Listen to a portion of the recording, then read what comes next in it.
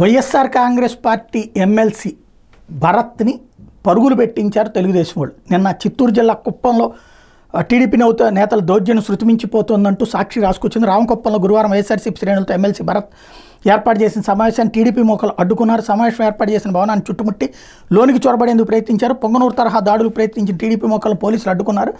TDP మొక్కలు రెచ్చగొట్టే వ్యాఖ్యలు చేసిన అనవసరమైన గొడవలు వద్దనుకుని ఎమ్మెల్సీ భరత్ సమావేశాన్ని అర్ధాంతరంగా ముగించుకుని వెళ్ళిపోవడంతో అల్లర్లు సృష్టించాలని టీడీపీ యత్నాలకు అడ్డుకట్టపడింది వార్త ఇట్ట రాసుకొచ్చారు. కానీ దమ్ముంటే అక్కడే నుంచోవాలా మాట్లాడాలా అదేంటో తేల్చుకోవాలా పారిపోయి అదేదో గొడవలు వాళ్ళు సృష్టించాలనుకుని ఆగారంటే ఎట్లాగా?